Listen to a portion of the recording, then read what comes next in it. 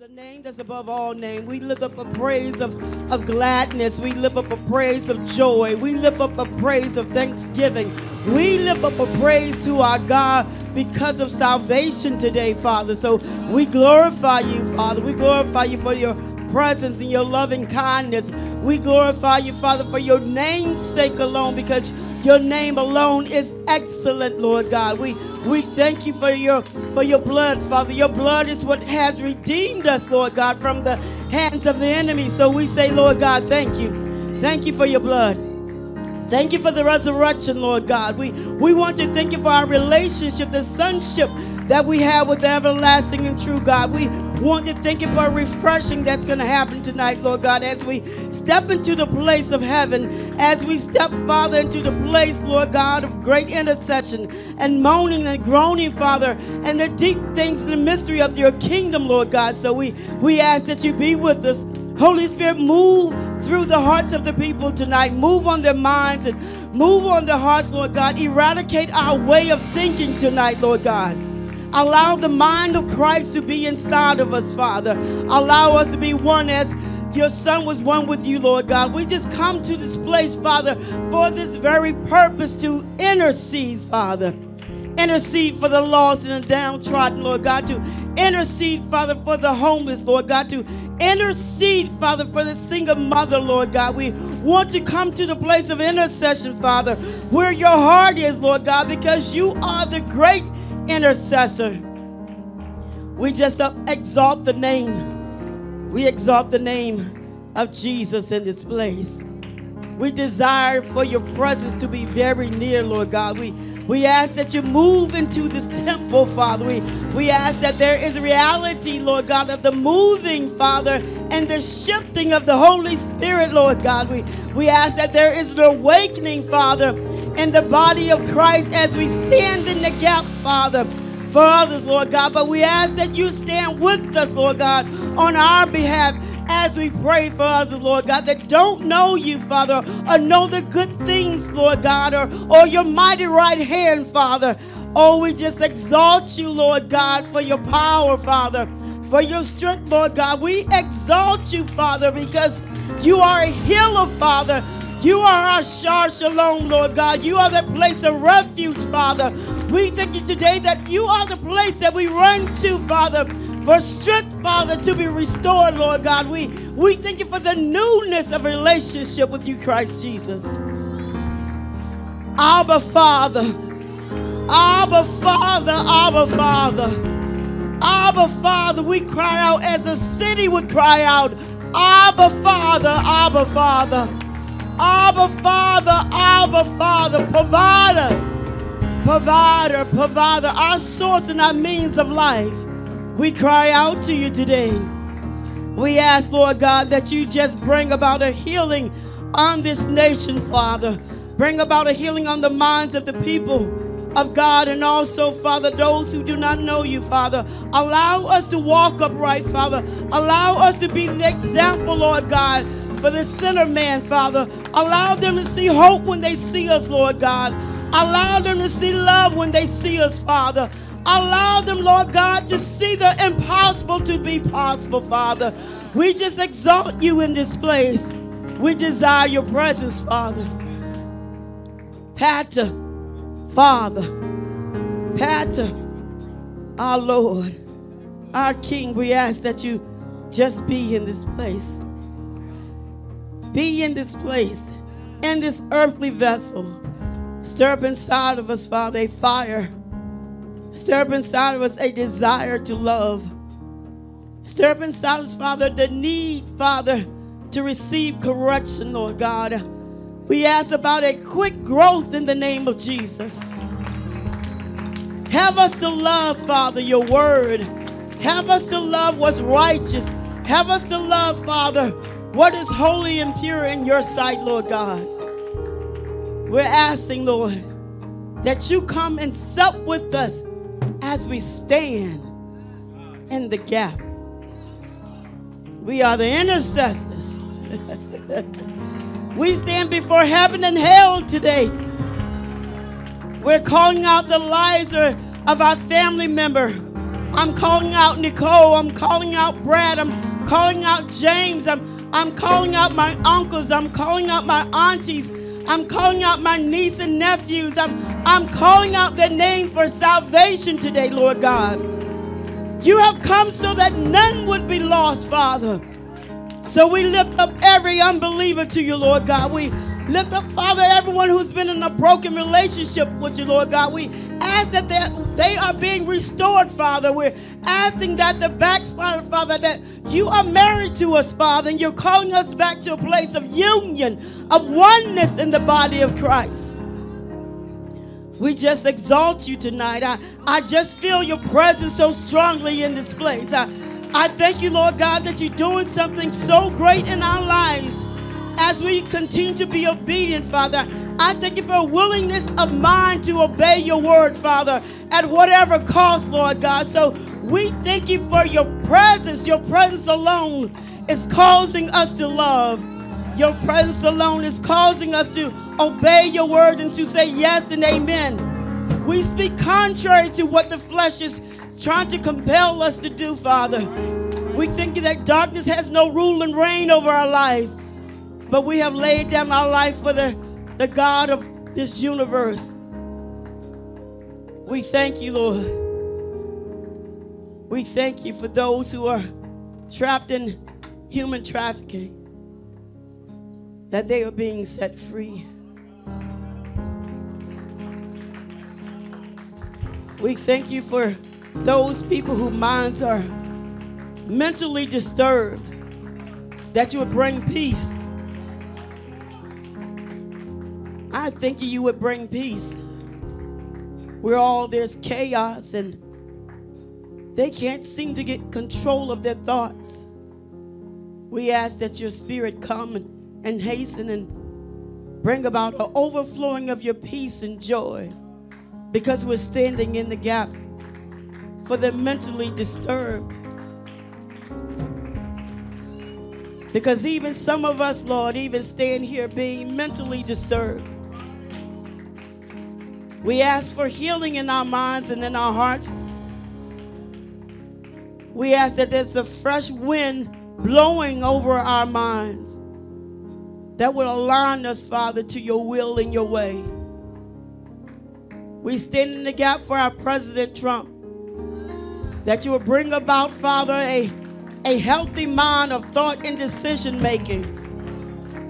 We stand in the gap for our Congress, Father, our councilmen, our superintendent of our school system, our teachers, our instructors, the university, our faculty members. We ask, Lord God, that you go, Father, in the places, Father, that where some of us never go. We ask that your spirit, Father, rest, rule, and abide in the places, Father, that we have yet even stepped foot on.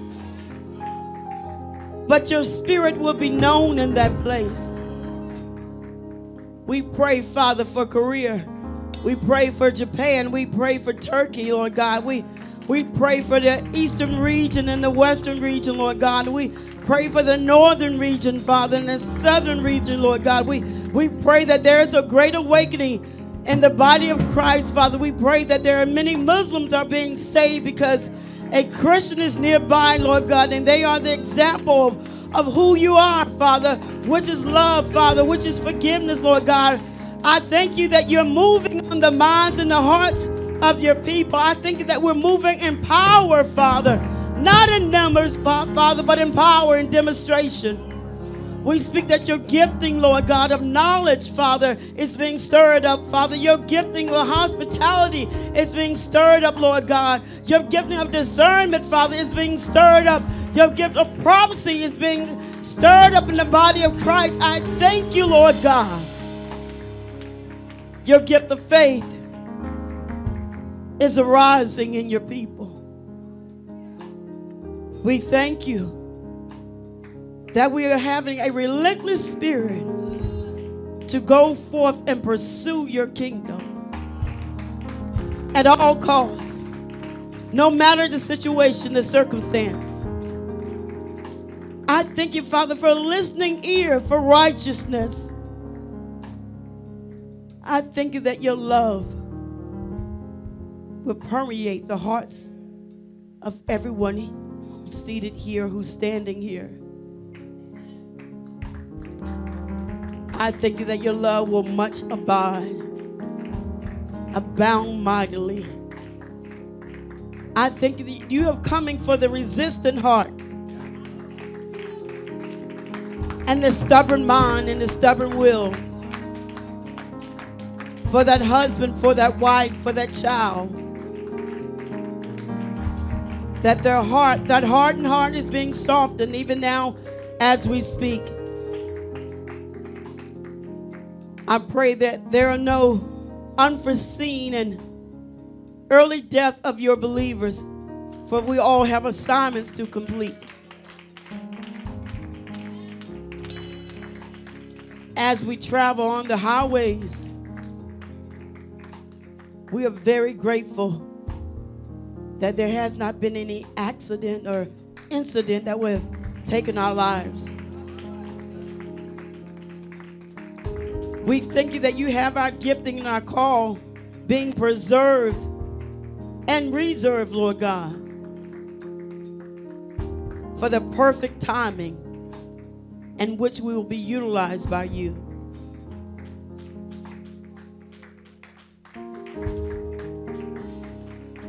Allow your spirit to arise in this place.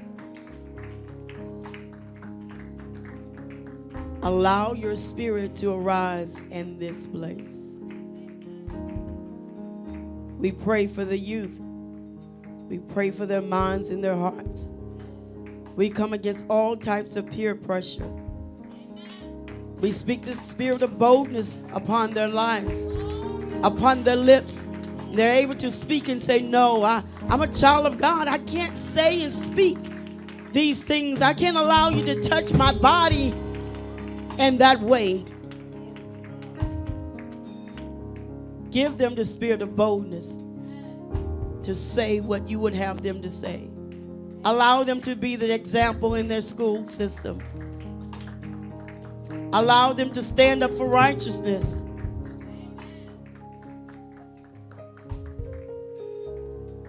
Come in dreams and visions.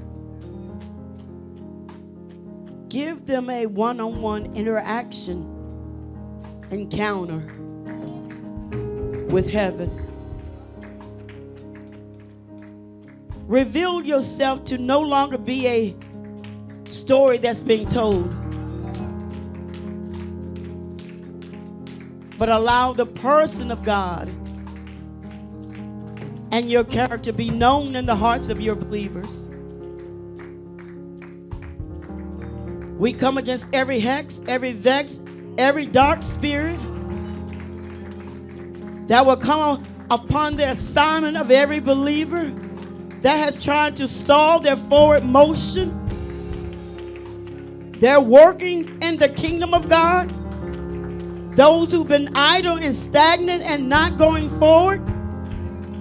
We eradicate, Father, every demon, every imp who have been in the way. We dispel every whisper of the enemy, every convincing argument of the enemy. He's been convincing your people what is truth. So we thank you, Lord God, his whispers and his convincing arguments have been dismissed in the name of Jesus. Oh, we thank you today. We see strategically what the enemy has done and what he's still trying to do. He's been trying to create a wedge between the shepherd and the sheep, the father and the child, the mother and the child the wife and the husband. He's been presenting convincing arguments. We eradicate that enemy. The prosecutor the persecutor of darkness, who's been persecuting our call and, and where we're to go and what we're supposed to speak and how we're supposed to live. And the shame and the the condemnation that he's been bringing on the house of God's people. We dismiss his words of persuasion. And we thank you, Lord God, that the living word of truth will reign again. And as Apostle Paul had said, I will learn how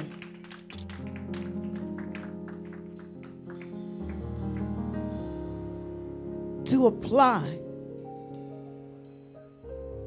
what I've learned in your word. Will know how to respond in times of trouble.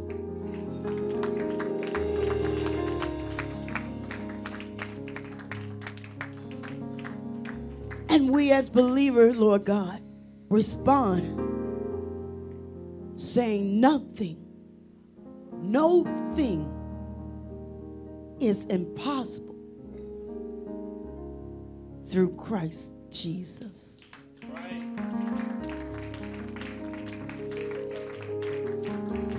It's through your name that we have already overcome. It's through your name that every shepherd doesn't fall to depression. It's through your name that every teacher, every apostle, every bishop, every evangelist has overcome It's through your name.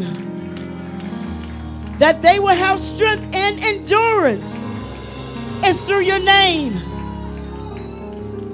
Every layperson, every leader is through your name.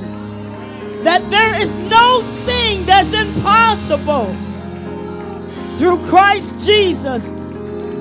This is the secret, Lord God. that in all my troubles, I've learned to be content because I know a secret. It's through the name of Christ Jesus that I have power to do all things.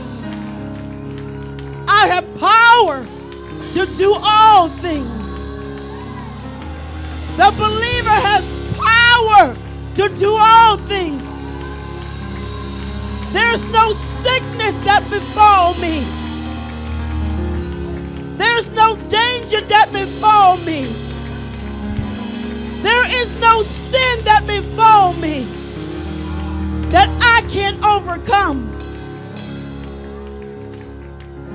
Because I hold a secret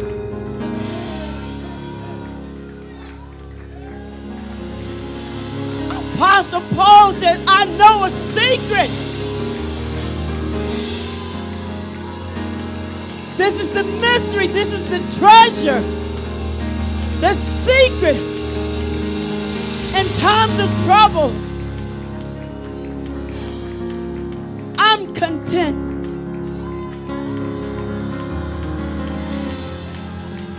I'm content. I'm content.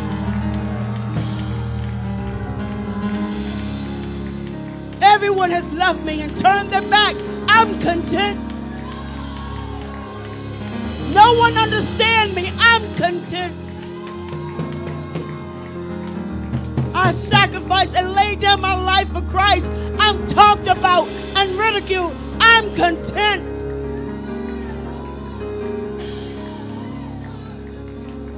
I have nothing. I have no money. I'm homeless. I'm content. Because I have a secret. I have a secret. And my saddest moments and my deepest despair, I have a secret that I turn to. Oh, hallelujah. I have a secret that I turn to. And my most deepest time of despair, I have a secret. The time I'm hurting the most, my heart is broken. I have a secret that I turn to. All things are possible through Christ Jesus. Oh, hallelujah. Hallelujah. Hallelujah. Hallelujah. All things. I don't care what it is today. God told me to tell you all things are possible through Christ Jesus. I stand in a place of content, being content in my ways of thinking, be content in my condition, being content in chaos.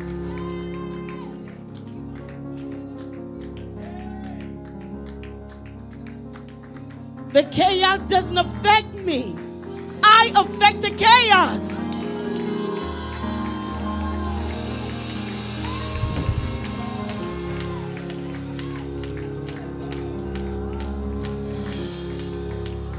Seek to praise the Lord.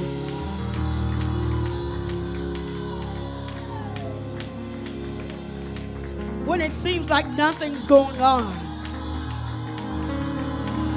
just look to your secret. Grab a hold of your secret again. When it seems like your passion is not there anymore, your love for the word is not there anymore. Reach back for your secret.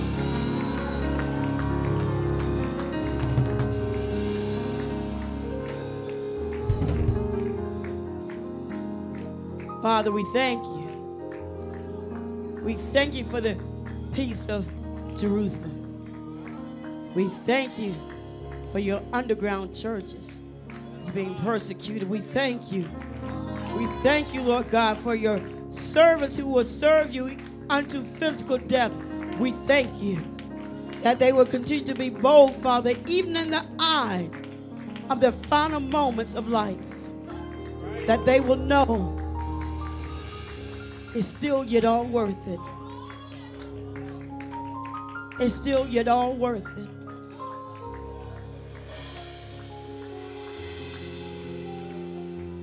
We thank you that you're bringing about strength and power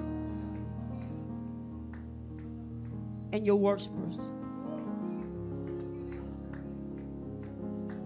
Your psalmists, your dancers, those who wave the banners, the flag carriers. Oh, hallelujah, hallelujah, hallelujah, hallelujah, hallelujah. Have them not grow weary, Lord God, in well doing. Those who serve, have them not grow weary. Hospitality.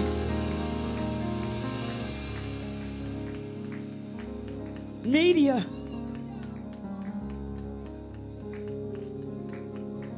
The teachers. Have your spiritual leaders not grow weary. Give us more of you, Lord. Give us more of you.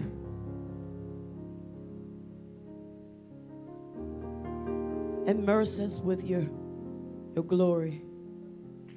Immerse us with your love. Immerse us with your mercy.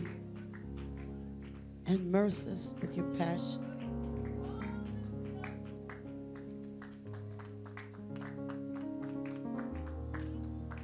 Take every believer back to the place that they first met you. Take us all back. We all need to go back when nothing else mattered but serving you. Nothing else mattered but another soul getting into the kingdom of God. Nothing else matters. We could serve all day and night and we we weren't attached to time. Take us back to that passion of love, of laboring in your kingdom. When we were excited, elated to talk about your word, to expound on your word, to say sweet things about, to say, don't you remember when you when you was in the world and what he delivered you from? Take us back to where we were before we even met you, Lord God. And the, the love that came and snatched us out of the hands of the enemy. Take us back to those places of desperation. Take us back to a time when you were really important to us. Take us back when we first started. When we felt that serving you was such an honor. Such an honor. Such a privilege to serve. Not man, but to bring you glory. Such an honor to greet, open the door for the saints to come in the house of God. Such an honor. Such an honor to embrace another believer. To say, Yes, you're in the kingdom with me. Such an honor. Such an honor, Lord God. When someone gave their life to you, how it used to bring us so much joy.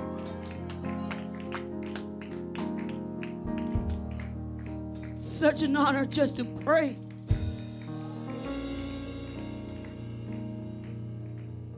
To bring heaven to earth.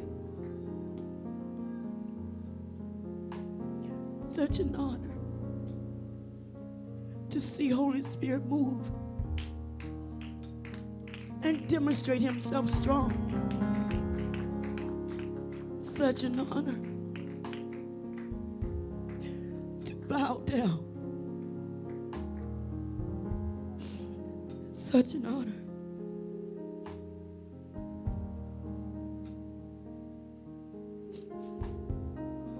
To not think highly of ourselves as we are.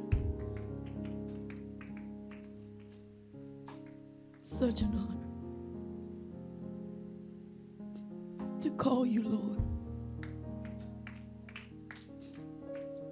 Such an honor. Call you Lord, our God, and our King. Such an honor. That you would call us your own. That you would call us your own.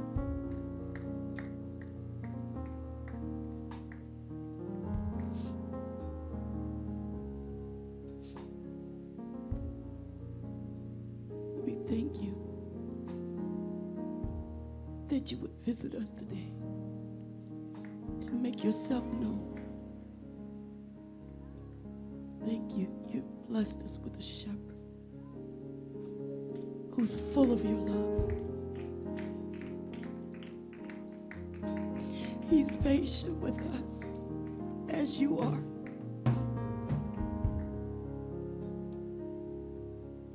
He loves us enough to correct to go wayward and be lost and devoured by the enemy.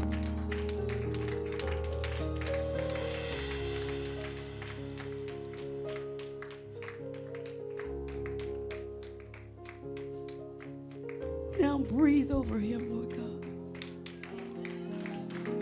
Breathe over his mind, breathe over his heart, breathe over the words that he would speak and to the hearts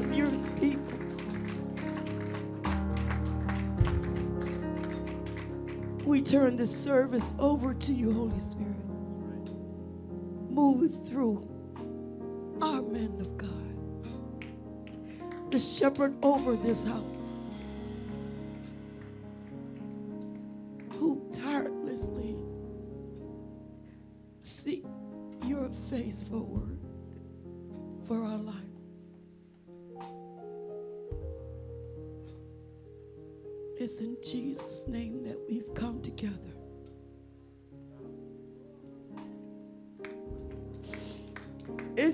Name that we've come together.